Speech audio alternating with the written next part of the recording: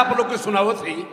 अब बिरहा यहाँ से वाला हो ऐसा शुरू करी ऐसा शुरू करी कि भूकंप आ जाए